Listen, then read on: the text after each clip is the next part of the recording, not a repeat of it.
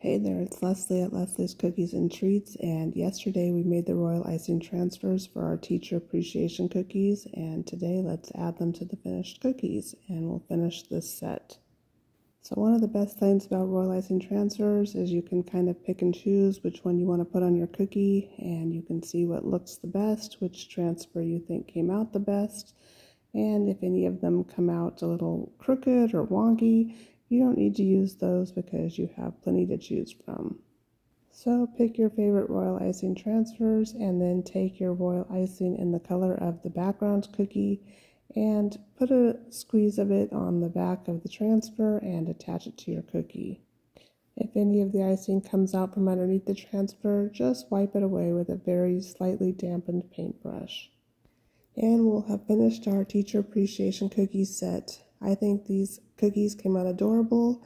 I hope that you think so too. Hey teachers, would you like a set of cookies like this for teacher appreciation? Let me know in the comments what you think. Thanks for watching.